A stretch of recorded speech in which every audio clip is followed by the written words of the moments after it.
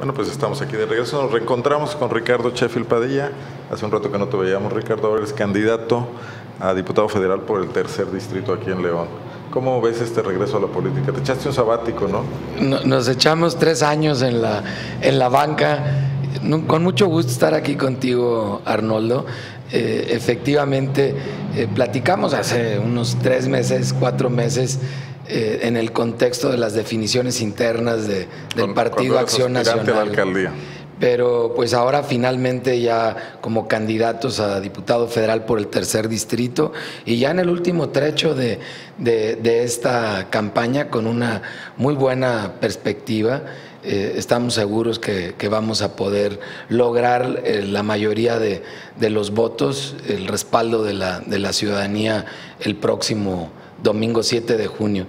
¿Cómo te va regresando en campaña? Tú hiciste una campaña hace seis años, fuiste alcalde tres años, tuviste trato cotidiano con la gente, nadie es monedita de oro, yo sé que les debe haber quedado mal a algunos. ¿Qué te dice la gente cuando la reencuentras ahora ahí en el tercer distrito? Fíjate que hay de todo en la Viña del Señor, pero, pero la mayoría de la gente me ha recibido muy bien. Y, y aparte de ello, eh, pues hubo mucha obra y mucho trabajo que se hizo eh, junto con la propia ciudadanía en distintas colonias del, del, distrito y, en general una buena, una buena aceptación, aunque sí encuentro un león cambiado. ¿En tres años? En tres años, muy cambiado. Pues, digo, una, una, una, cuestión muy sentida es la recolección de, de basura. Eh, cuando yo era presidente municipal, la basura se recolectaba diario en la noche, excepto los domingos y, hoy en la mayoría de las colonias está terciado el servicio. Y dijeron que nos modernizaron el servicio, pero parece Pues yo no le encontré la modernización porque en muchas colonias, sobre todo en la periferia de la ciudad, solo te dan permiso de sacar una bolsa de basura y si sacas dos o tres, te cobran por las bolsas adicionales. Entonces, ese ha sido un cambio muy, muy drástico en un servicio municipal que es muy sentido para. ¿Y la gente atribuye esto a la administración actual, a la administración del PRI Verde? Así lo atribuye, pues es donde se realizó este cambio fallido eh, en el servicio. Oye, pero ahora Incluso se les hace curioso, eh, yo no lo recordaba, pero me lo hizo recordar la ciudadanía que, que Bárbara Botello puso patrullas a cuidar la basura.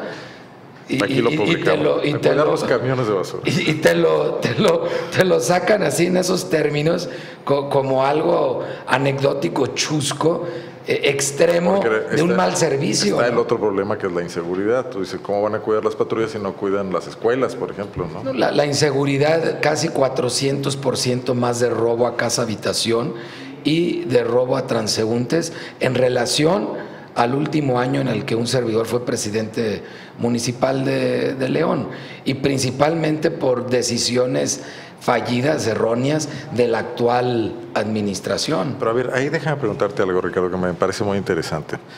Digo, no quiero quitar el carácter de polémico o de... Aquí hicimos críticas muy duras a la administración de Bárbara Botello, pero en ciertos sistemas, como es por ejemplo la Policía Municipal de León, el deterioro no puede ser solo de tres años.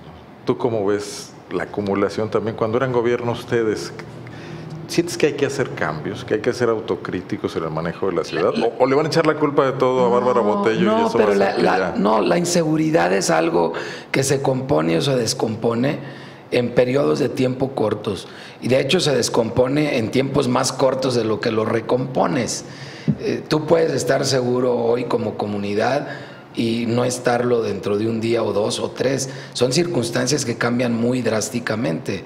Y yo te puedo mencionar una decisión que tomó la administración de Bárbara Botello del PRI Verde que nos causó un daño en la seguridad muy grande y que ya se medirá con precisión, pero fue el no renovar el software para que funcionara todo el sistema de cámaras de vigilancia de la ciudad.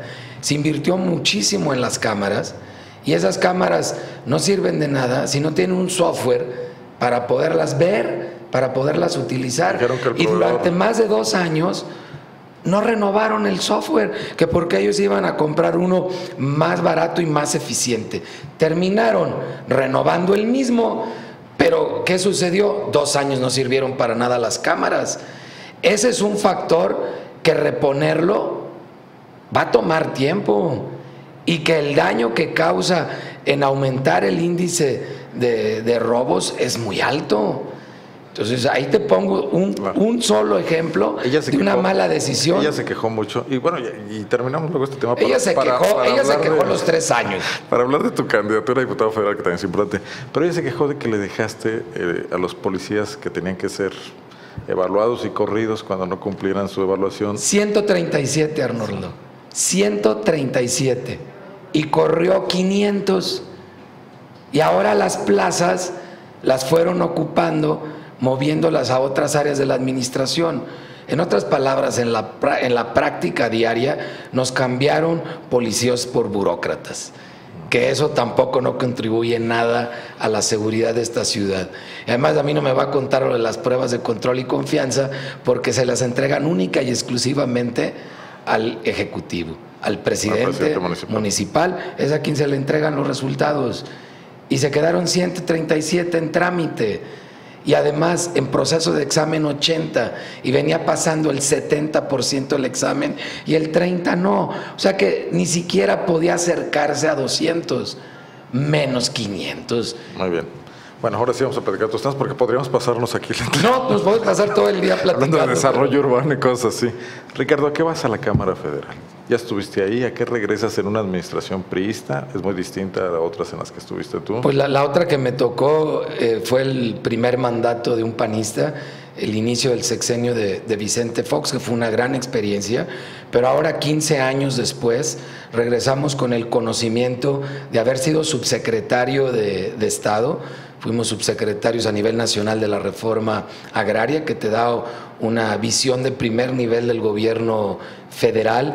Fui presidente, gracias al voto de la ciudadanía, de este municipio de León, la quinta ciudad más grande de México, y ese bagaje nos permite regresar con el conocimiento que tenemos de las leyes a ser un diputado proactivo en la construcción de un México moderno y además proactivo en la búsqueda de recursos para un municipio que está ávido de ellos, como es León. ¿Apoyarías a López Santillán en eso? ¿A claro, Villalobos, cualquiera de los que gane? Apoyaría yo a León, que va a ser a, Héctor López Santillana, porque lleva una muy clara ventaja gracias al apoyo de los ciudadanos. Ahora, todo el mundo suponemos que estará cerca de lo que llaman la burbuja de Gustavo Madero. Pues mira, sí soy cercano a Gustavo Madero, llevo una gran amistad con él, lo apoyé eh, en su campaña para, para ser reelecto a presidente de mi partido, pero adicional a ello, pues 15 años después también llegas con experiencia y cargos que precisamente te permiten jugar un papel de mayor relevancia en el, en el Congreso. Va a ser una Cámara muy política, es la Cámara de la sucesión presidencial. El PRI anda de capa caída, el PAN va a tener eh, candidatos que están buscando la candidatura presidencial, aspirantes. ¿No te va a distraer esto de otros trabajos? Además se viene el relevo en Guanajuato, una gobernatura también. Pues mira, sin lugar a dudas será una legislatura muy interesante por el contexto que, tú bien señalas. Habrá la renovación de, gobernador, habrá la renovación de presidente de la, de la República y además en contextos que México no ha vivido antes. Ya llevamos un ratito viviendo momentos que México nunca, nunca ha vivido antes, inéditos. Y, y, en consecuencia eh, sé que lo último que pasará es aburrirse porque será una, una legislatura dinámica y mucho se juega en el Congreso vas a de la Unión. con Bárbara Botello ahí? Ahí me voy a topar con ella, sí. Ella sin tocar baranda va a ser eh, diputada federal, pero pues también esa es una oportunidad de hacerle ver las cuentas que le debe a, a León y a los leoneses de regreso ya en la política, totalmente, Ricardo. ¿Cómo ves la elección del próximo 7 de junio? Ha habido un intercambio serio de acusaciones, como siempre, ya estamos acostumbrados, pero ¿se puede llegar a más? ¿Crees que hay peligro en León de, guerra sucia, de regresar a viejos tiempos, de fraudes electorales y cosas así? Va a haber compra de votos, eso lo estamos viendo. ¿En todos los frentes? No, lo está comprando el PRI Verde. Y, están haciendo un claro operativo en, ese sentido. ¿Tú de hecho, físicamente los has detectado? He tenido ya encuentro en algunos casos que nos han reportado ciudadanos y que a su vez nosotros hemos reportado este, a las autoridades competentes, pero de manera muy, muy particular eh, hicimos una encuesta eh, con una encuestadora seria a nivel nacional y una de las preguntas que metimos en la encuesta, porque yo tenía interés en conocerlo, era a cuántas personas se les habían acercado a tratar de comprarles el voto y quién había sido. Y en la encuesta resultó que el 3.8% del electorado había sido abordado por el PRI verde. 3.8%. 3.8%. Lo, lo, que más me resultó doloroso como ciudadano es que otra pregunta era si estarías dispuesto a vender tu voto y fue el 10% de la ciudadanía el que respondió que sí. Quiere decir que no se le han acercado a un 6.2% que lamentablemente está dispuesto a vender su voto. Que, por fortuna no es un número más alto, pero, pero sí es triste que, el nivel cívico de, una parte de la ciudadanía esté... Eh, con esa expectativa de vender su, voto. O el nivel de necesidad, que también podría ser otra cuestión. No, yo pienso que las necesidades hay muchas maneras de resolverlas sin revolverlo con un tema tan delicado y tan importante como es el sufragar el voto. ¿Qué le, qué, le has estado diciendo a toda la gente cuando recorres ahora en tu campaña? ¿Cuál es pues, tu planteamiento central en la el, campaña? El planteamiento central es que nos apoyen a los tres candidatos del PAN que necesitamos llegar como un bloque fuerte que realmente logre avanzar el proyecto del Partido Acción Nacional, que es el proyecto de la ciudadanía a través de Héctor López Santillana, haciendo equipo el candidato a diputado local, el candidato a diputado federal y el propio presidente municipal, porque una golondrina no hace verano, o sea, realmente se ocupa de un equipo fuerte y por eso le pedimos a la ciudadanía sus tres votos para el PAN. Para tres propuestas básicas. La primera es lograr más seguridad, también en equipo, y tiene su parte desde la Diputación Federal buscando fondos, eh, por ejemplo, del Subsemun. Eh, tiene el otro aspecto. Reformas legales, policía única, etcétera, y también otros aspectos. Y hay muchos aspectos en que reforzar. El otro eh, tema es el de más empleo y el PAN ha demostrado que puede generar más empleo. Tan solo con la lucha efectiva que logró el PAN siendo gobierno para mantener a raya la importación de productos de piel y de calzado de Oriente, se logró mantener el empleo a miles de familias leonesas. Y desde el Congreso de la Unión yo pienso y estaré luchando para lograr otra vez que se le pongan límites a las importaciones de calzado de Oriente y recuperar esos empleos. Por eso el PAN es más empleo, el PAN es mejores servicios y el PAN es menos impuestos. El tema de la corrupción.